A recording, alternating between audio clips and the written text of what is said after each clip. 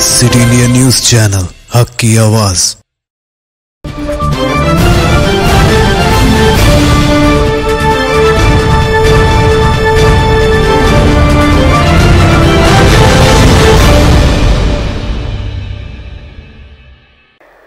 वालेकुम नाजरीन, city India news के बुलेटिन आने दक्कन की। खबरों में सबसे पहले देखेंगे हदीस शरीफ। गुल अहादीस नबवी सल्लल्लाहु अलैहि वसल्लम। कुन फिद दुनिया कअन्नक गरीबुन औ आबिरु सबील बुखारी व मुस्लिम। दुनिया में ऐसा रहो जैसे कोई मुसाफिर या राह रूह रहता हो।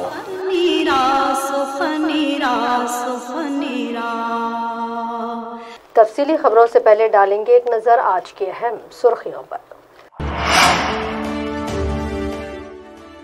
पीआरसी पर बिस्वाल कमेटी की सिफारिशात से मुलाजमीन का अदम इतफाक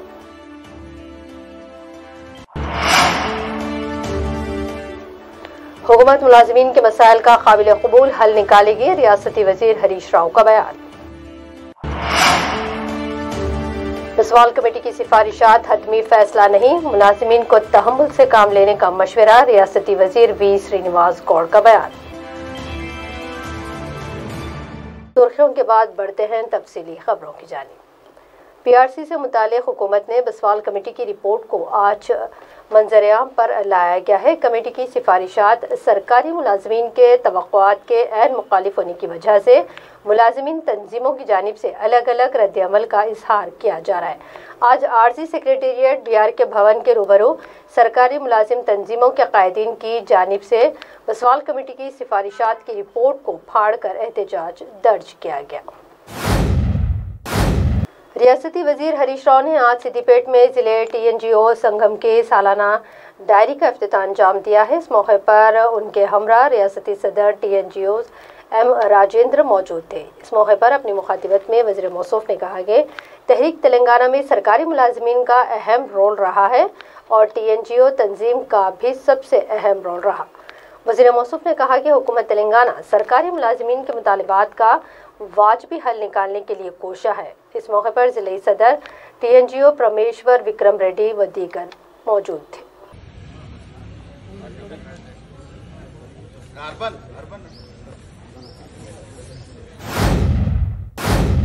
रियासती वज़ीर बरए इमारत व शुरा विमला प्रशांत रेड्डी ने आज जदादरी मंदिर के मसाफत का दौरा किया और वहाँ जेर तामीर कामों का मुआयना किया है। मंदिर के नीचे वाले इलाके में तालाब के पास जेर तामीर कलियाना कट्टा तबरुकात तैयारी के शेड्स व दीगर इमारतों की तामीर के मुतालिक तफसीली जायजा लिया गया। इस मौके पर इनके हमरा मकामी M L A Gangodi Sunita Mahendra Reddy, ज़िले कलेक्टर अनिता रामचंद्र भी मौजूद थे।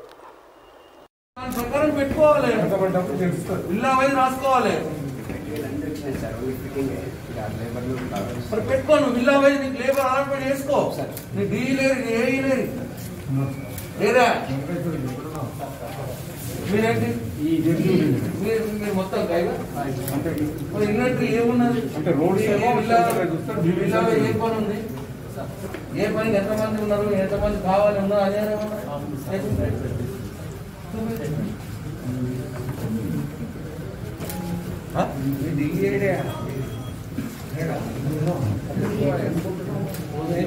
ఎన్ని బంగాలని ఈ పది బంగాళాలు నువ్వేనా? ఇది ఏ పని ఉన్నది ఇంకా? పండుగ రాత్రి నేను? కాదు బిడ్డ నీకు ఏం పని ఉంది ఇంకా. చూపి నాకు రాసుకున్నావా? ఈ విల్ల నెంబర్ ఎంత? ఏం రాసుకున్నావు స్టేట్మెంట్ ఎందుకు? బుక్లో రాసుకోవా? నీ బుక్ ఏది? ఏ విలా ఆ విలా రాసుకోవా? ఏది మరి బుక్ నీ మమ్మీ వాళ్ళ పని. అంత కాదు అంటే కాంట్రాక్టర్ చేయాలి మనం చూడాలి. ఏదయ్యా మరి? నువ్వు ఫీల్లోనే ఉన్నావు కదా? మరి ఫీల్లోనే కదా ఉండాల్సింది బుక్ ఏది మరి? నీకు ఇంతమంది ఏళ్ళు? ఏళ్ళు ఎంతమంది నీకు? అది కదా నువ్వు పక్కన ఏళ్ళు ఎంతమంది? మొత్తం ఒక ఏనా మళ్ళీ నీకు? నువ్వేనా? నేను నా పుస్తకం? స్టేట్మెంట్ ఎట్లా చేస్తావురా బాబు? నువ్వు రాసుకుంటేనే కదా ఒక బుక్ లా? దగ్గర ఉండాలి కదా. నువ్వు ఈ ఈ ఇంట్లో తిరిగి రాసుకుంటేనే కదా? ఏ పని బాగున్నది ఏందనేది? రాసుకున్నది ఉందా बाबू मैं ड्यूटी अरे ड्यूटी से पीएम से हार्ट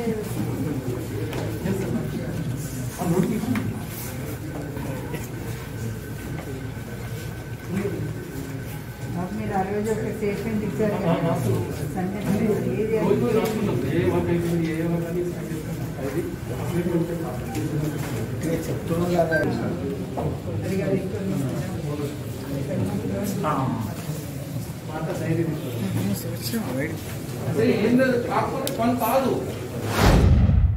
रियासती वज़ीर बराए आबकारी डॉक्टर वी श्रीनिवास गौड़ ने आज रविंद्र भारती में Telangana grade one officers union के सालाना डायरी और टेबल कैलेंडर की रसम इजराई अंजाम दी है इस मौके पर।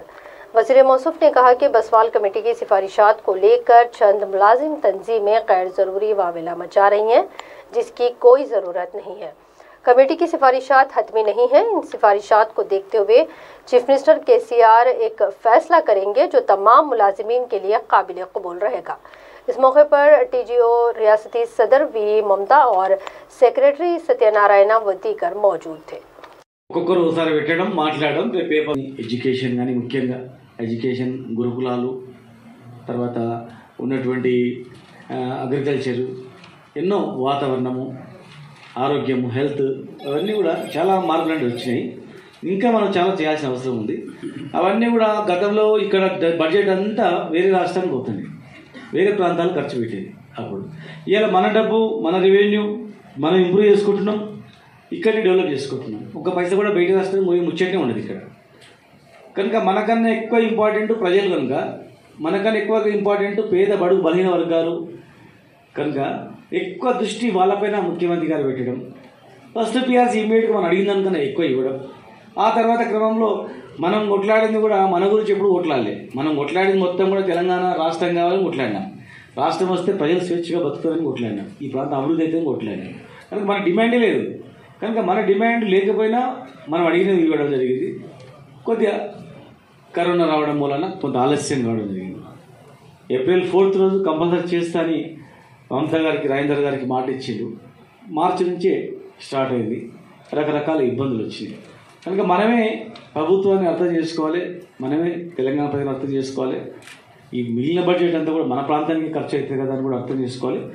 అల్టిమేట్గా మళ్ళీ మన సమస్యలు కూడా మనం ఖచ్చితంగా ప్రస్తావించుకోవాలి సాధించుకోవాల్సిన అవసరం ఉంది. మొన్న ముఖ్యమంత్రి గారు అందరికి ప్రమోషన్స్ ఇవ్వాలి. కొన్ని ఇవ్వట్లేదని వీరు ముఖ్యమంత్రి గారికి భోజనం చేసే సందర్భంలో మమత గారు మా వాళ్ళు సత్యనారాయణ వీళ్ళు సార్ మా ప్రమోషన్స్ డిపిసి కావట్లేదని ప్రస్తావన చేసింది ఎందుకు కావట్లేదు? అంటే ఒక టూ ఇయర్స్ సర్వీస్ ఎగ్జిబిషన్ కావాలి ఇవి ఇమ్మీడియట్గా మీరు నువ్వు వెయ్యి కూర్చొని మొత్తం చేయించుకోండి. థర్టీ ఫస్ట్ లోపల అందరికి ప్రమోషన్స్ రావాల్సిందే. ప్రమోషన్స్ ఇవ్వండి అని ముఖ్యమంత్రి గారు ఆదేశించారు. మరుసటి రోజు మేము కూర్చున్నాం మన సిఎస్తో మాట్లాడడం ఇప్పుడు థర్టీ ఫస్ట్ లోపల అందరికీ హండ్రెడ్ పర్సెంట్ ఇప్పియాలని చెప్పి మేము ప్లాన్ చేస్తున్నాం. ఏ డిపార్ట్మెంట్ లేదా రాలేదంటే మా దృష్టి తీసుకురండి. ఈరోజు ఉద్యోగులందరూ ఒక ఐక్యమత్యంతో ఉండి అధికారులు మా వరకు కింది ఆఫీసర్ ఇప్పుడు డిస్టిక్ ఆఫీసర్ ఉంటాడు. కింది లెవెల్ వాళ్ళకు కూడా ప్రమోషన్ చెప్పాలి కొంతమంది ఐఏఎస్లలో కొంత ఉంటుంది. లెగ్నిజెన్స్ ఉంటుంది కొంతమంది అందరు ఉండరు అట్లా. కొంతమంది ప్రమోషన్స్ ఇవ్వాలంటే రకరకాలుగా కొరీలు ఇస్తూ ఉంటారు కొంతమంది. ఆ క్రమంలో సెకండ్ లెవెల్ ఉన్న ఆఫీసర్ మనమే ఉంటాం కనుక తువ్వనైనా అయినా ఆఫీసర్ అందరూ ఒకటే కాదు ఏముందల్లా సపరేట్ ఏం పడేది ఏం లేదు కదా.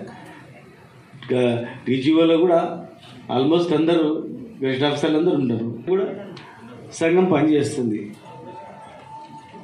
క్యాడర్ ఏదైనా కానీ ఉద్యోగం అయితే ఒకటే. ఇలా అమెరికా లాంటి దేశాల్లో స్వీపర్ పనిచేసేటోడు కూడా కార్లు వచ్చి పని చేస్తాడు వాళ్ళు కూడా సారాన్ని గౌరవిస్తారు ఈవెన్ బాత్రూమ్ శుభ్రం చేసినకి వచ్చిన ఆయన కూడా వెహికల్ కార్లు వస్తాడు పని చేసిన తర్వాత మంచిగా రెస్పెక్ట్తో మాట్లాడుకుంటారు సార్ సార్ అని మనలాగా ఏమరా ఏం అని మాట్లాడరు అక్కడ.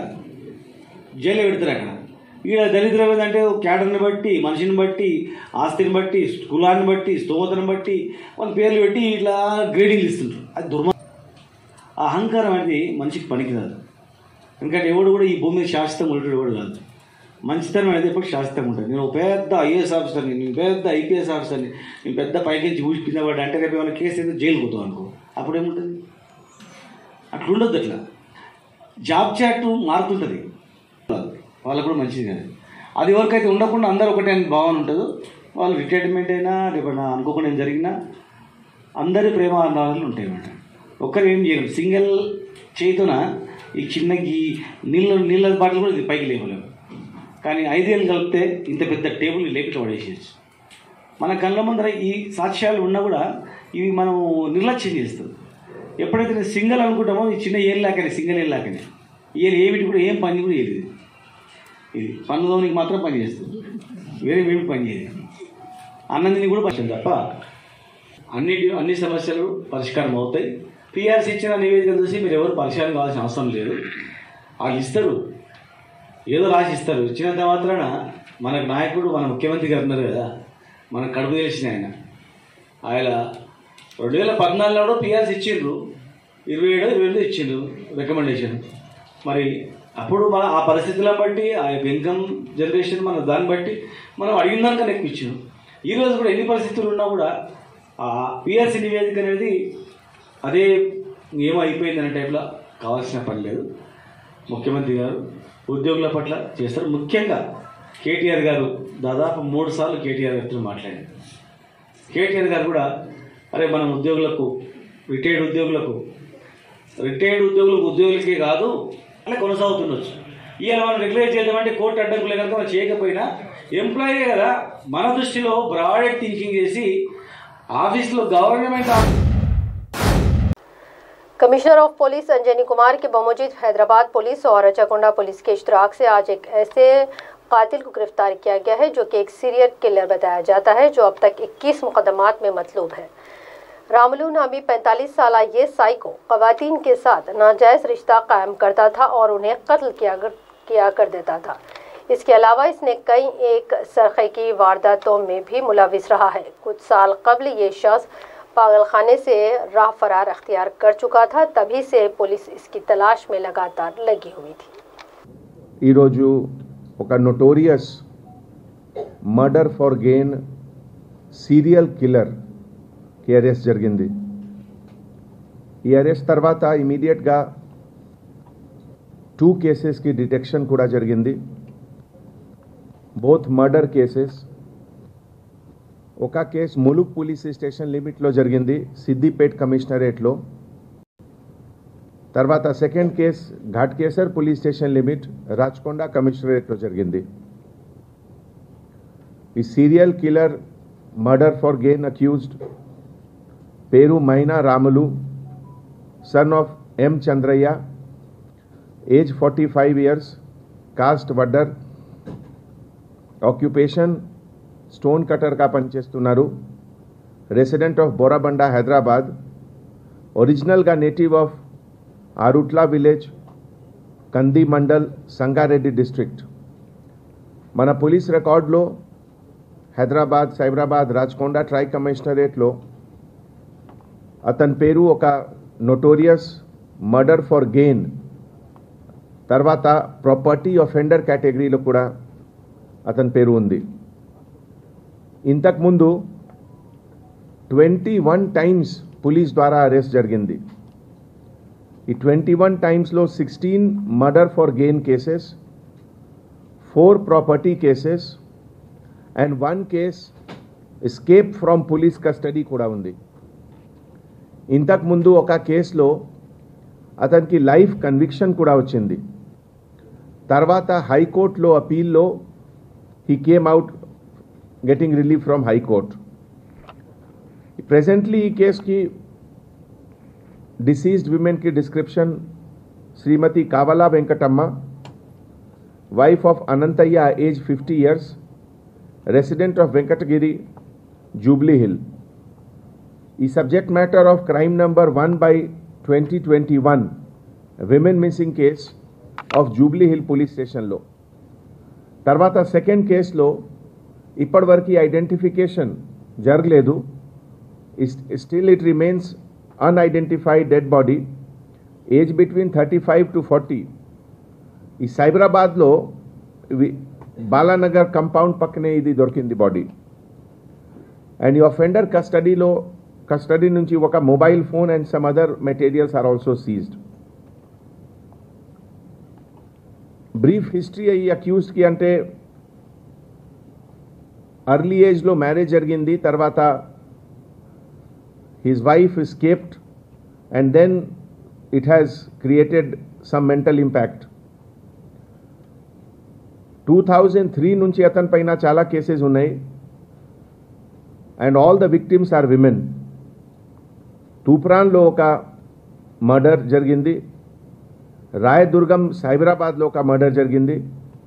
సంగారెడ్డి రూరల్లో కూడా మర్డర్ చేశారు రాయదుర్గంలో మళ్ళీ టూ థౌజండ్ సెవెన్ డుండిగల్లో two thousand eight నర్సాపూర్లో two thousand eight all are murder cases Narsingi police స్టేషన్లో murder case along with theft of property ఇదే కేసులో కన్విక్షన్ వచ్చింది life imprisonment and that time also ఈ కేస్ డిటెక్షన్లో మన present OSD Radhakishan Rao he was that time posted as he was inspector SOT in Cyberabad తర్వాత కుకట్పల్లిలో కూడా ఒక two two sixty by two thousand nine murder case మళ్ళీ second case also two thousand నైన్లో కుకట్పల్లి మన నార్త్ జోన్లో బోయిన్పల్లిలో టూ కేసెస్ జరిగింది both two thousand twelve and two thousand thirteen చందానగర్లో two cases ఉన్నాయి both two thousand twelve Dundigal police స్టేషన్లో two thousand twelve Shamirpet సైబరాబాద్లో two thousand nineteen Pathan చెరువులో two thousand nineteen apart from that కొన్ని property offences కూడా ఉన్నాయి షమీర్పేట్లో Medchal Rayadurgam IDA Bollaram and SR నగర్లో prisoners escape case ఈ life imprisonment అతనికి honourable fourth additional district and session judge full additional charge of fifth additional and session judge Rangareddy ద్వారా crime number two hundred nineteen by two thousand nine నైన్లో Narsingi police station సైబరాబాద్లో అతనికి life imprisonment వచ్చింది తర్వాత he escaped from in the life increment case, uh, the accused escaped, and uh, Malli SR Nagar lo, he was again uh, cr- crime number 1209 లో he escaped. ఈ సందర్భంలో మన ఈ present ఆపరేషన్లో apart from OSD Radhakishan Rao garu the entire task force team and particularly Shyam Prasad ACP Malkajgiri K Nageswara Rao inspector task force N Chandrababu Ghatkesar police station SHO SI G Rajasekhar Reddy K Srikanth B Parameshwar and in the entire team of Ghatkesar Police Rajkonda and మన task force కలిసి ఈ ఈ operation conduct చేశారు ఈ సందర్భంలో నేను రాధాకిషన్ రావు గారికి చెప్తున్నాము he will tell you more about this serial offender godless ఇవ్వండి महकमा पुलिस में खवतान के रोल में मजीद इजाफे की ज़रूरत है। इन ख्याल का इजहार मरूफ तेलुगु अदाकारा अनुष्का ने किया। आज वो साइबराबाद पुलिस की जानब से डायल हंड्रेड मोबाइल वैन खदमात का रसम अजराई अंजाम देते हुए इन्होंने अपनी मुखातिबत में कहा कि खवतान की हिफाजत के लिए पुलिस की जानब से खातिर इकदाम किए जा रहे हैं, जो कि इतमान बख्श हैं, लेकिन इन्हें मजीद असलाहत की ज़रूरत है। Commissioner Cyberabad V C Sajjanar ने कहा कि खातन के तहफ़ और डायल हंड्रेड पर आने वाली शिकायत के अजाले के लिए साइबराबाद पुलिस टेक्नोलॉजी का इस्तेमाल कर रही है और इसके बेहतर नतज भी बरामद हुए हैं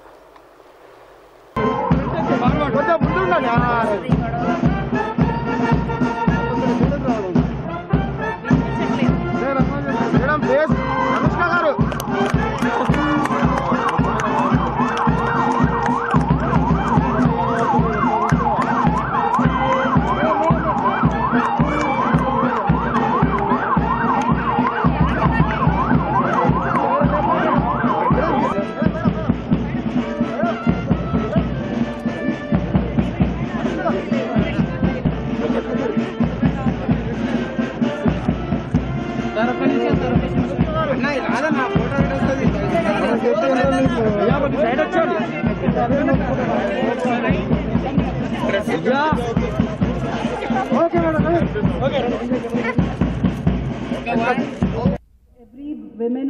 Officer, because when you talk about a women, it's someone running a house, doing their work, children's ni penchadam, you know, it's a lot of responsibility. And if, including myself, I hope we all carry that awareness because మన security forces ఎన్ని చేసినా మన పబ్లిక్లో మన మన దాంట్లో ఒక awareness ఉండి మనకు కూడా కాంట్రిబ్యూట్ చేయాలి మనకు కూడా సేఫ్ సేఫ్గా ఉండాలి మనకు కూడా మన సరౌండింగ్స్ గురించి కేర్ చేయాలని అనుకుంటే మాత్రం we can bring about the changes one step at a time so as civilians, I just hope that each one of us are able to help and support each one of you out there who work day in and day out to protect us.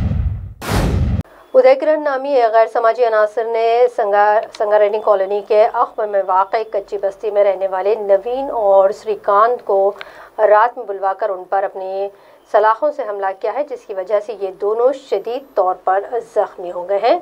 इतला मिलते ही मकामी police ने वहाँ पहुंचकर दोनों को अस्पताल मुंतकिल किया है और उदय किरण को गिरफ़्तार कर लिया गया है। होने का होना ना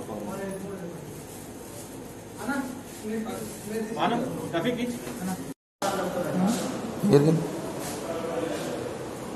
ఆ తమ్ముడిని ఇంతకుముందు కొట్టారు కానీ బస్సులో కనిపించారు ఎందుకు కొట్టారు అని అడిగినందుకు నలభై మంది దాకా జమ చేసి వచ్చారు ఆ నలభై మందిలో ఒకడు ఇద్దరు ముగ్గురు ఉన్నారు. వాళ్ళు చాకుతో పోసేసారు అలా గుర్తుపడతావా? గుర్తుపడతా. नाचरम में एक मशहूर खानगी स्कूल, सुप्रभात स्कूल के रूबरू औलिया तलबा की जानब से ज़बरदस्त एहतजाज दर्ज किया गया है। औलिया तलबा का कहना था कि अब चूँकि स्कूलों की कशादगी अमल में लाई जा रही है और स्कूल इंतज़ामिया की जानब से साल भर की मुकम्मल फ़ीस वसूल की जा रही है, जिससे माँ बाप पर माली बोझ पड़ रहा है।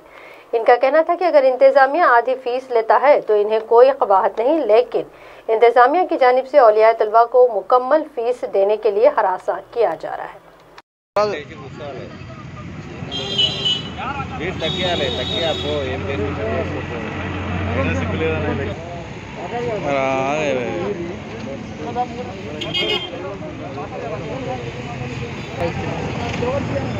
పైన బోర్డు కనబడతలేదు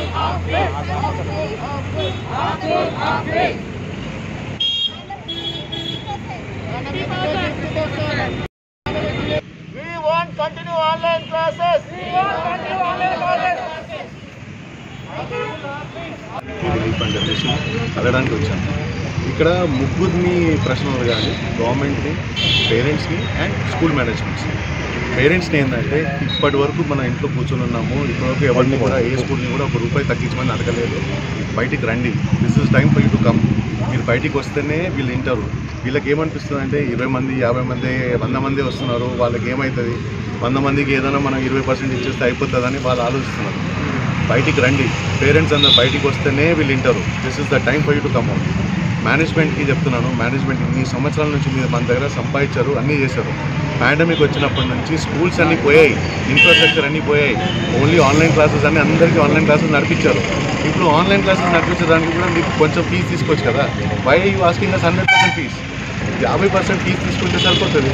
At least come up with amicable number ఈ నంబర్ చెప్పండి. ఇంత డిస్కౌంట్ ఇస్తామని చెప్పేసి అండి అందరూ ప్రతి ఒక్క parent is ready to pay వాళ్ళకి ఇంత ఇబ్బంది అవుతుంది. మీరు ఇప్పుడు కూడా మీరు మీరు పాండమిక్లో స్విట్జర్లాండ్ పోలేదు బ్యాంకాక్ పోలేదు ఎక్కడ పోలేదు. అన్ని అన్ని బండ్లు అన్నీ మంచిగా నడిపించుకొని ఇంట్లో కూర్చొని ఉన్నారు. పాండమిక్లో ఒక్క రూపాయి కూడా ఖర్చు పెట్టదు కదా. ఆ ఆ డబ్బులన్నా వీళ్ళకి డిస్కౌంట్ ఇప్పించండి. ఆ ఆ డబ్బులన్నా డిస్కౌంట్ చేయండి. మీరు కంపల్సరీ చేయాల్సిన పని ఏంటంటే పేరెంట్స్ అదే కస్టమర్స్ వాళ్ళని మీరు డిస్కౌంట్ ఇవ్వకపోతే బాగా ఇబ్బంది పడతారు ఫ్యూచర్లో ఇవాళ ఇరవై పై ఇరవై ఐదు పర్సెంట్ మంది ముందు వచ్చి మాట్లాడుతున్నారు. రేపు వంద మంది పేరెంట్స్ వచ్చి అడుగుతారు. వాట్ హ్యాపెండ్ ఏంటని అని చెప్పి ఆ- ఆ- స్థాయికి తీసుకురాకండి ప్లీజ్ గవర్నమెంట్కి విజ్ఞప్తి ఏంటంటే సార్ కేసీఆర్ గారు మాకు జియో సిక్స్టీ ఫైవ్ అని చాలా మంచి ఇచ్చారు. ఓన్లీ ట్యూషన్ ఫీ కలెక్ట్ చేసుకోవాలని చెప్పి. కానీ స్కూల్ మేనేజ్మెంట్ ఏం చేస్తున్నారంటే స్కూల్ మొత్తం ఫీజుని టోటల్ ఫీజుని ట్యూషన్ ఫీజు అని చెప్పేసి మమ్మల్ని అడుగుతున్నారు. మీరు ఒక క్లారిటీ ఇచ్చేసి కేసీఆర్ గారు కేటీఆర్ గారు మీ అందరితో వినప్తి మీ పేరెంట్స్ అందరూ రోడ్ మీద వచ్చే అది సిచ్యువేషన్ వచ్చేసింది. చాలా బాధపడుతున్నారు. ప్లీజ్ మీరు అర్థం చేసుకోండి లేకపోతే చాలా చాలా కష్టాలు అవుతాయి. స్టేట్ అంతా పేరెంట్స్ మిమ్మల్ని చూస్తున్నారు మీరు ఏమైనా చేస్తారని చెప్పేసి కానీ దయచేసి కొంచెం ఏమైనా जनाब Sarfaraz Ahmed IAS commissioner excise से उनके दफ्तर में मौलवी अलहाज वहीद अहमद एडवोकेट रुकन तेलंगाना स्टेट वक्फ बोर्ड और चेयरमैन अकलियती मालियती कॉरपोरेशन जनाब सैयद अकबर हुसैन ने खैर सगाली मुलाकात की इस मौके पर दोनों कायदीन से रियासत की सियासी हालात पर इन्होंने गुफ्तगू की है मौलवी वहीद अहमद एडवोकेट ने सरफराज अहमद के खदमात की सराहना की सबक में वो करीमनगर में बहसीत कलेक्टर सरकारी फलाही स्कीमात को रुबा अमल लाने के लिए नुमाया खदमात अंजाम दी थी। बोधन शहर मस्तखर पर पांडुफॉर्म इलाके में वाक़ कदीम कब्रस्तान की आराजी पर कुछ रियल स्टेट ताजरीन की जानब से कब्जे की कोशिश की जा रही है। रात दस बजे आवाम की नज़रों से छुपाकर जेसीबी के ज़रिए कब्रों को मसमार किया जा रहा था। जैसे ही इस बात की इतला मकामी पुलिस को दी गई, पुलिस ने मौके पर पहुंचकर जायजा लिया। तो पता चला कि जेसीबी की जानब से कब्रों को मसमार करने की वजह से कब्रों से हड्डियाँ बाहर आ चुकी हैं, जिस पर पुलिस ने जेसीबी के ड्राइवर को गिरफ़्तार करते हुए जेसीबी को जब्त कर लिया गया है। मकामी कौंसरान डब्बू भाई इमरान आबेद, अल्ताफ़ और सुफियान वगैरह की शिकायत पर पुलिस ने एक मुकदमा दर्ज करते हुए तहकीक़ात का आगाज़ किया है। पेशे बोधन से हमारे नुमाइंदे मोहम्मद सुफियान की ये रिपोर्ट।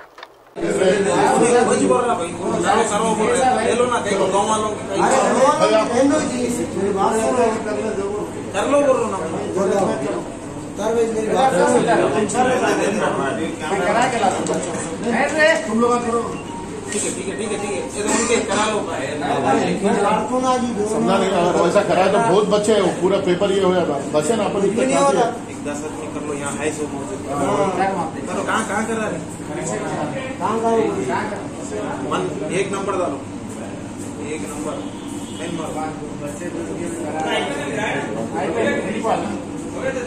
जो पांडुसारा में निज़ाम शुगर फैक्ट्री की जो ज़मीन दी गई है गुजशत सौ साल से वो कब्रस्तान में कई मुस्लिम के खबरें वहाँ पर मौजूद है। उसके बाद इटली सिनो नामी एक शख्स ने आके बाजू की जगह आके खोदम खादी करके कब्रस्तान की जगह को जो डैमेज किया, उसकी हम सख्त मजम्मत करते हैं और अगर उसको काम करना ही था तो दिन में आके करना था, रातों में चोरों के ऐसा आके करने की ज़रूरत क्या है?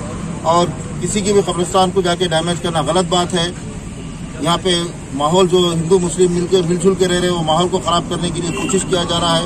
हम उसकी सख्त मजम्मत करते हैं और इसके सख्त खिलाफ है। अगर कोई भी कब्रिस्तान की जगह पे आके कब्जा करने की कोशिश करा तो हम उसके सख्त कार्रवाई करेंगे।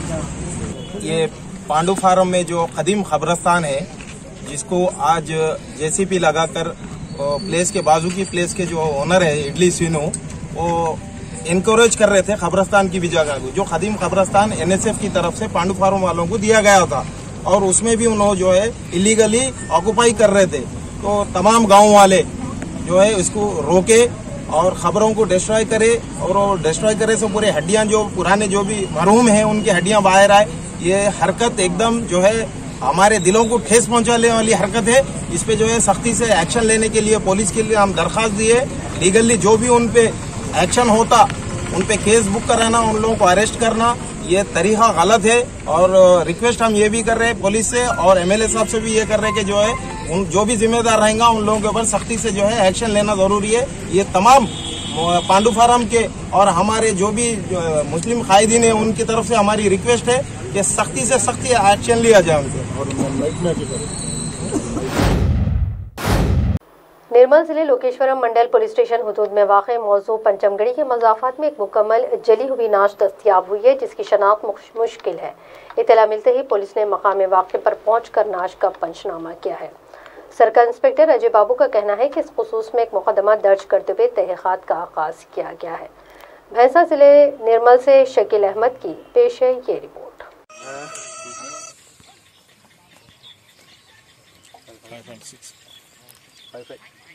అంతేనా ఫైవ్ ఫైవ్ ఫైవ్ ఫైవ్ అంటే వన్ సిక్స్టీ వరకు ఉంటుంది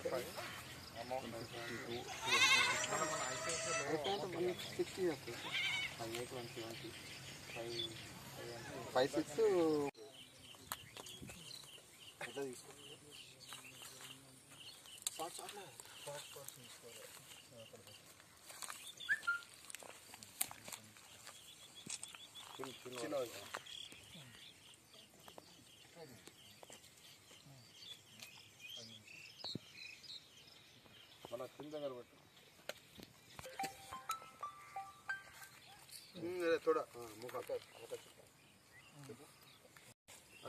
ఫ్రంట్ పొజిషన్ ఒక తీసుకున్నాం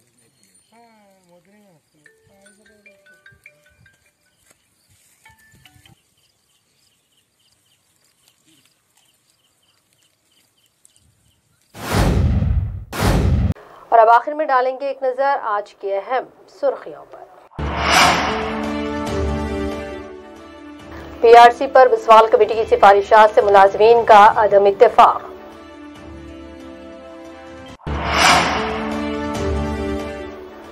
हुकूमत मुलाजमीन के मसाइल का काबिल कबूल हल निकालेगी, रियासती वज़ीर हरीश राव का बयान।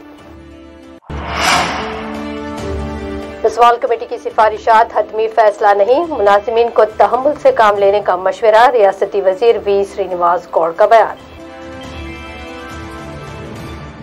नासरीन आने दकन की खबरों का सिलसिला यही अख्ताम को पहुँचता है। ताज़ा तरीन अपडेट्स के लिए आप देखते रहिए सिटी इंडिया न्यूज़, हक की आप